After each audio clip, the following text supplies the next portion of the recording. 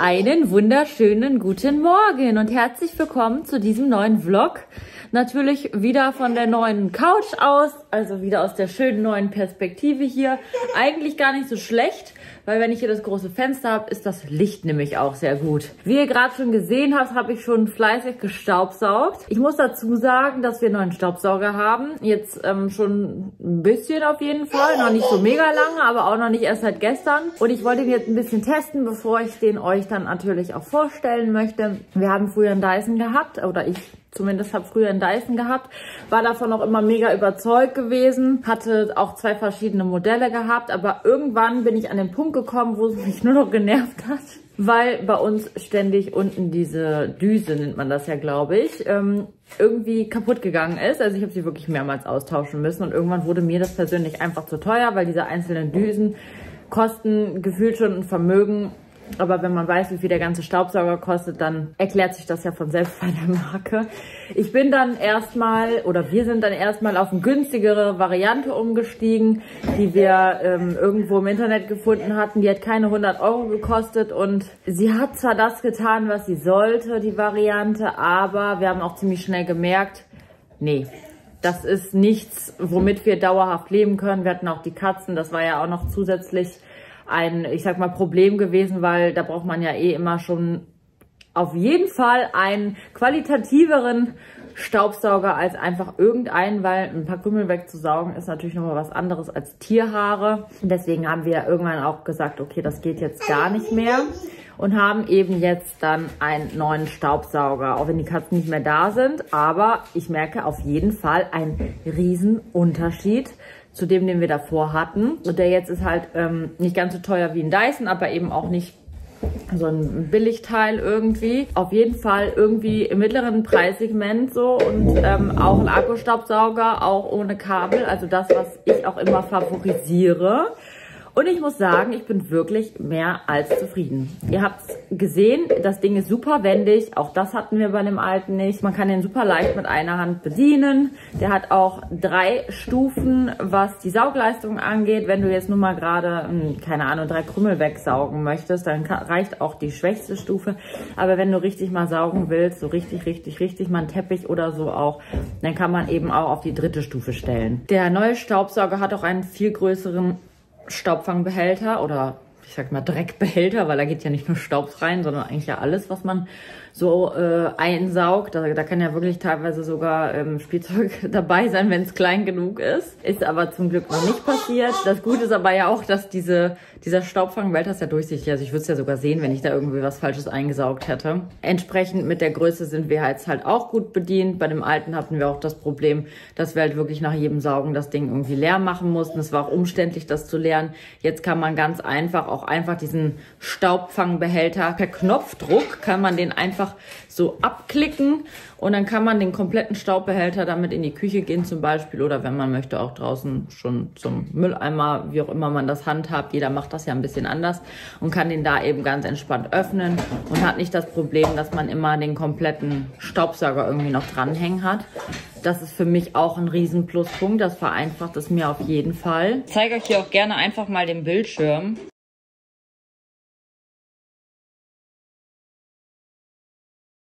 Man macht ihn wirklich einfach per Knopfdruck hier an und muss ihn dann auch nicht die ganze Zeit festhalten. Auf dem Bildschirm konntet ihr gerade schon sehen, wie ich die verschiedenen Stufen eingestellt habe. Ist natürlich ziemlich laut, deswegen kann ich da nicht dabei noch euch erklären, sonst versteht ihr mich leider nicht. Aber ich muss auch sagen, dass zum Beispiel die leichteste Stufe, die ist ultra leise wirklich. Weil ich wirklich verwundert, dass die so leise ist. Und von der Handhabung her, ja, ihr seht's ja, ne? Also man kann den ja total einfach nach links und rechts. Ich bin jetzt eigentlich Rechtshänder, ich mache es mit links und es geht trotzdem super easy. Hier habt ihr den Staubbehälter. Das macht man normalerweise hier unten auf. Aber ich möchte den Staubbehälter ja komplett abnehmen, bevor ich ihn reinige. Ich hoffe, dass da jetzt nichts rausfällt, weil ich das im Liegen mache. Und wenn man hier oben mit einer Hand etwas schwierig, dann wird der lose und dann kann ich ihn nehmen. So, zack habe ich den Staubbehälter in der Hand und kann damit zum Mülleimer laufen und ihn dann hier unten aufmachen und entleeren. Hier unten habt ihr die Staubdüse. Da sieht man halt auch nochmal, dass hier nochmal extra Rollen sind. Wenn man irgendwo drunter saugen möchte, finde ich das total cool. Voll einfach hier mit Knopfdruck alles abzumachen. Hier drinnen ist noch eine Bürste, die sich auch selber dreht. Und das allerbeste, was, was ich wirklich, wirklich cool finde, ich meine, das hätte damals noch nicht mal der Dyson gehabt, ist, dass der Staubsauger eben hier vorne eine Lampe hat. Also wenn ich den anmache, dann leuchtet es. Ich kann theoretisch sogar im Dunkeln staubsaugen. Ein weiterer riesen Pluspunkt an dem Staubsauger, den ich am Anfang erst gar nicht erkannt habe, das ist mir dann aber kurzzeitig danach zum Glück aufgefallen, weil es einfach ein ein, wirklich ein riesen Pluspunkt. Man kann hier diese Stange einfach, ich hoffe, dass es jetzt geht. Ja, es hat geklappt. Kann man einfach ganz leicht verstellen. Es ist für mich natürlich etwas schwierig, das jetzt mit einer Hand zu machen. Im Hintergrund haben wir jetzt leider noch die Kleinkinder, aber ist ja wurscht. Die Jungs machen ja nichts. Ähm, man kann hier halt einfach das hier so ein kleines Stückchen nach oben ziehen und den dann stufenlos verstellen. Also ist wirklich für jede Größe einfach äh, selbst wenn ich den ganz klein mache, könnte theoretisch ähm, Julians Tochter damit saugen. Die ist jetzt die kleinste von uns. Die Jungs äh, können das einfach von der Mechanik noch nicht. Von der Motorik und vom, vom, von der, vom Gewicht, sage ich jetzt mal. Deswegen nehme ich jetzt einfach Julians Tochter als Beispiel. Aber eben auch, ich kann es auch ganz hoch machen und dann ist es für Julian perfekt. Ich weiß nicht, welcher Staubsauger sowas kann, wenn ich ehrlich bin. Da bin ich positiv überrascht gewesen. Natürlich sind hier auch noch Zubehörteile mit dabei. Hier haben wir einmal die Halterung, die man an der Wand befestigen kann. Das haben wir jetzt noch nicht gemacht. Andere Düse. Fragt mich bitte nicht, wofür die sind. Ich verstehe das nämlich selber nicht genau. Aber Leute, die sich mit Staubsaugern befassen und auch mal gerne die Düsen wechseln, die wissen vermutlich auch, wofür man das benutzt. Die hier finde ich wirklich cool. Da weiß ich auch, wofür die ist. Oh, die ist ein bisschen voller Staub, sehe ich gerade. Damit man halt auch einfach mal in irgendwelche Ecken reinkommt. Bei uns ist das in dem Fall links neben dem Kühlschrank. Da ist so eine richtig miese Staubecke. Da komme ich super dran mit dem Ding. Und hier haben wir auch nochmal eine andere Düse die vielleicht für Couch. Ich weiß ehrlich gesagt nicht, wofür sie da ist, aber auf jeden Fall eben auch nochmal eine Düse. Was ich auch super finde, ist, hier ist tatsächlich auch ein Ersatzfilter dabei. Habe ich bis jetzt weder beim Dyson gehabt, noch bei dem letzten Staubsauger. Es ist einfach so, dass wenn man den Filter reinigen möchte, der im Staubsauger ist, dann kann man das zwar ganz einfach unter der Wasserleitung machen. Das hatten wir bis jetzt auch bei jedem Modell gehabt. Aber das Teil muss danach erstmal trocknen. Heißt, man kann den Staubsauger erstmal nicht verwenden. Das finde ich ziemlich ziemlich doof, gerade wenn man dann doch mal was umkippt oder gerade wenn man vielleicht dann Tiere hat oder so, dann hat man einfach das Problem, dass man da halt einfach nicht, nichts wegsaugen kann und in seinem Dreck sitzt unter Umständen. Und mit diesem Ersatzfilter ist man da eben gut gewappnet, weil man dann eben einfach, wenn der eine trocknet, den anderen einsetzen kann und so einfach mal zwischendurch einfach hin und her tauschen kann, wenn der dann mal wieder voll ist. Ich hoffe, ich habe jetzt nichts Wichtiges vergessen und ihr konntet euch irgendwie ein Bild davon machen. Ich bin froh auf jeden Fall, dass wir das Teil haben. Der Staubsauger heißt J10. Die Marke kann ich leider nicht aussprechen. Aber in der Videobeschreibung findet ihr auch den Link zum Produkt. Da könnt ihr euch selber nochmal überzeugen, was da nicht alles bei ist und was der alles kann. Da habt ihr nochmal eine spezifischere Beschreibung als die, die ich euch jetzt gegeben habe. Und ihr könnt sogar noch sparen, falls ihr einen neuen Staubsauger braucht und euch für den entscheiden solltet, dann vergesst nicht, meinen Code zu benutzen, denn da bekommt ihr sogar nochmal 10% on top. Aktuell ist der sowieso gerade mit einem 60-Euro-Coupon bei Amazon drin. Das heißt, ihr spart auf den Preis erstmal 60 Euro und zusätzlich könnt ihr meinen Code noch verwenden und dann kriegt ihr sogar nochmal 10% on top. Ich würde nur nicht zu lange warten. Ich weiß nämlich nicht, wie lange dieses Angebot noch gültig ist. Und dann müsst ihr nachher wieder mehr bezahlen. Das wäre ja Quatsch. Also falls ihr einen braucht und eh gerade euch überlegt, welchen ihr kaufen solltet, dann lasst euch einfach nicht so viel Zeit, falls ihr euch für den entscheiden solltet.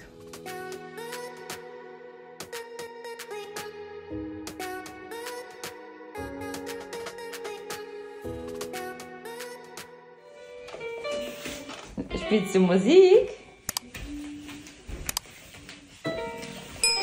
Spielst du Musik? Kleiner Musiker. Ja, wie ihr seht, sind die Jungs auch schon wild unterwegs. Wir haben im Moment das Problem, dass gerade der Luca, ja, Leum aber auch, aber Luca ist noch ein bisschen extremer, die wollen sich in die Kiste da reinsetzen immer und das Problem ist einfach, dass sie nicht mehr alleine rauskommen. Ich verstehe zwar nicht, wie sie es schaffen, reinzukommen, wenn sie nicht mehr rauskommen, weil an der Kiste verändert sich ja eigentlich nichts. Aber sie klettern dann meistens rein, manchmal sogar zu zweit in eine Kiste, dann weint meistens einer, weil der eine auf dem anderen drauf sitzt. Ich habe eigentlich den ganzen Tag äh, hier die Aufgabe, wenn die Kinder sich da rein manövriert haben, die da irgendwie wieder rauszuholen und rauszuheben, weil sie es irgendwie selbst nicht hinkriegen und dann weinen.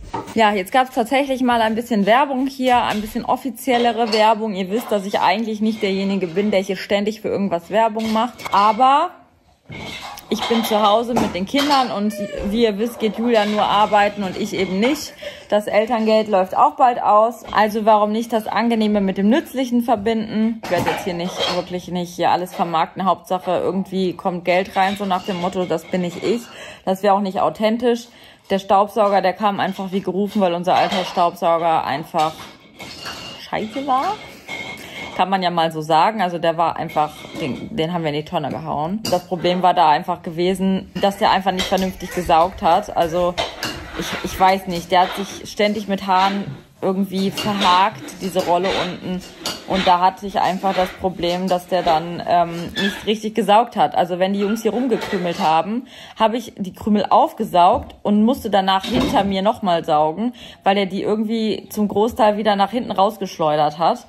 Also das war ein ganz merkwürdiger Staubsauger. Ich musste wirklich jede Stelle irgendwie drei, viermal saugen. Total nervig. Und jetzt klettern die Jungs wieder in die Kisten rein. Oder auch nicht.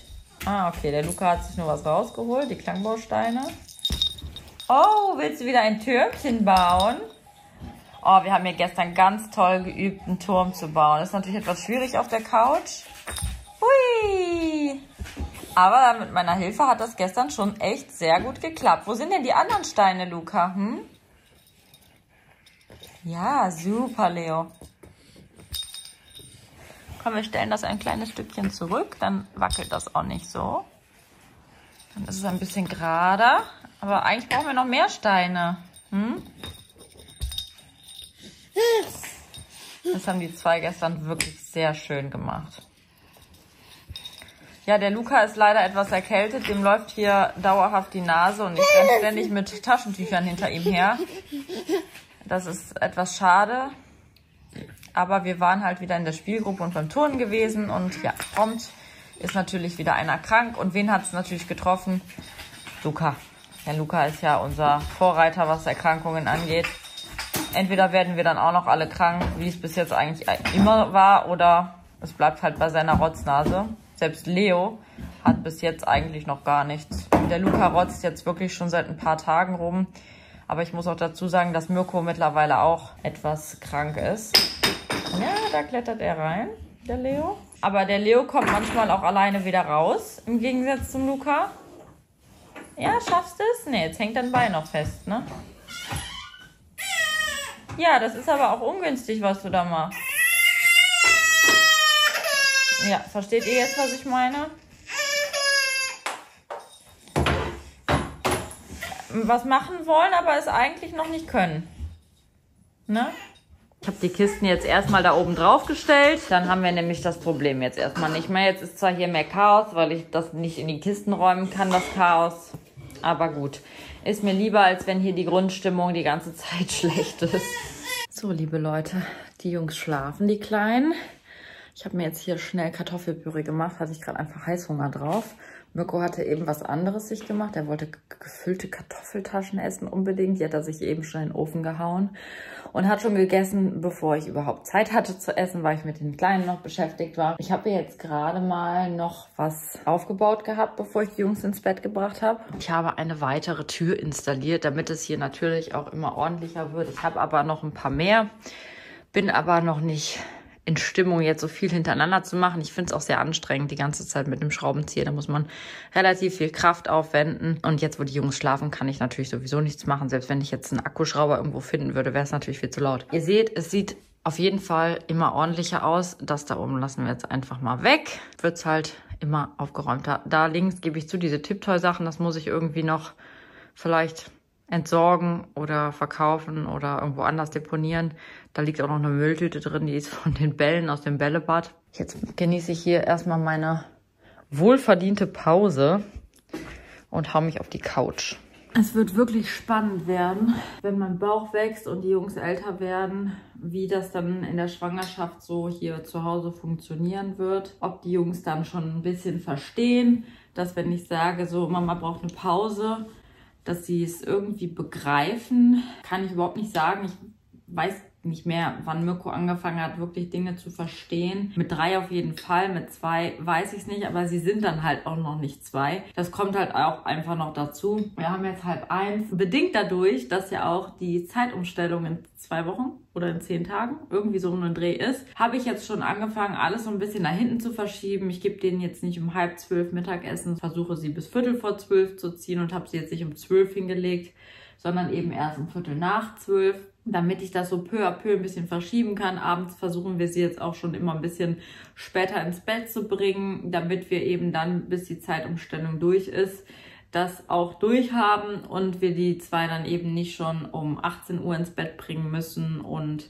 sie dann dafür aber eben auch entsprechend viel zu früh für unsere Verhältnisse aufstehen. Klar ist das nett, wenn man dann abends früher Feierabend hat, aber wenn ich ehrlich bin, habe ich auch keine Lust, deswegen schon nachher, wenn es mal schlecht läuft, um 5 Uhr aufstehen zu müssen, nur wegen der doofen Zeitumstellung. Weil wir gewöhnen uns ganz schnell daran. Bei den Kindern ist es halt so eine Sache. Ich habe es letztes Mal nicht gemacht, weil da waren sie ja noch so klein von der Sommer, nee, von der Winter auf die Sommerzeit war das, glaube ich. Da habe ich einfach gesagt, ach, ist mir egal, dann gehen sie halt später ins Bett, weil davor sind sie nämlich schon um 18 Uhr laut Winterzeit ins Bett gegangen, weil sie da ja auch noch kleiner waren und ähm, einfach schon müde waren um die Uhrzeit. Jetzt über den Sommer fand ich das aber eigentlich ganz praktisch, dass sie eben immer erst um 19 Uhr ins Bett gegangen sind und ja, mittlerweile schlafen sie ja auch länger. Bis sieben oder so können wir meistens schon schlafen, natürlich mit Unterbrechungen, logisch. Finde ich schon deutlich angenehmer, als was da teilweise dazwischen so abging.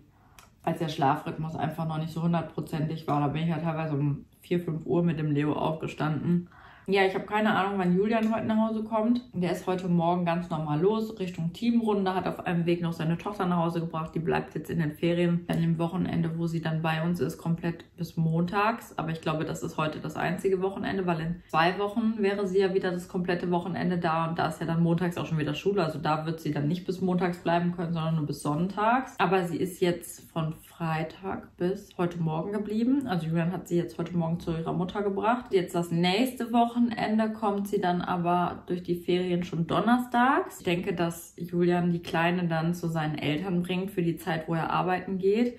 Da hat sie auch einfach mehr von und ich bin hier sowieso komplett ausgelastet mit Mirko und den Zwillingen. Dann kann er auch ganz entspannt arbeiten fahren. Die Kleine vermisst ihn nämlich einfach oft und ähm, wenn er sie dann bei mir hier lässt, dann ist sie halt oft dann auch, äh, was heißt quengelig, aber sie ruft dann Papa oft an und sowas. Also ich habe hier halt einfach auch einfach nicht die Zeit, noch mit den anderen. Mirko ist ja sehr selbstständig, der beschäftigt sich ja viel alleine. Aber wenn ich dann mit den Zwillingen zu tun habe, kann ich halt auch nicht noch ihr ein tolles Programm hier bieten. Und Oma und Opa können sich dann eben ganz gezielt auf sie fokussieren und entsprechend mit ihr irgendwelche tollen Sachen machen. Das ist für alle Beteiligten dann am einfachsten. Und wenn Julian dann von der Arbeit kommt, holt er die Kleine dann einfach bei Oma und Opa ab. Ich meine, die freuen sich ja auch mal, ihr Enkelkind zu sehen. Und den Freitag weiß ich dann noch gar nicht. Ich muss zwischendurch mal essen, damit sie nicht kalt wird. Ob er da dann auch arbeiten geht und sie zu Oma und Opa bringt oder ob er sich dann da frei nimmt. Aber da bleibt sie ja dann auch nur bis Samstag durch die Ferien dann zwei Übernachtungen. Normalerweise wäre es halt nur eine. Aber jetzt esse ich erstmal weiter. Hier versucht schon wieder einer auf die Couch zu klettern. Einmal runter mit dir. Ja, du, nein. Da brauchst du gar nicht zu weinen. Hier ist jemand gerade ganz unglücklich wach geworden. Ganz unglücklich. Ne? Da hat der Luca einfach länger geschlafen als der Leo und ist immer schlecht gelaunt, wenn er aufwacht. Aber mit der Rotznase, die er im Moment hat, kann ich ihn leider nicht immer auf so auf die Couch lassen, weil der die sonst überall an den Kissen abschmiert.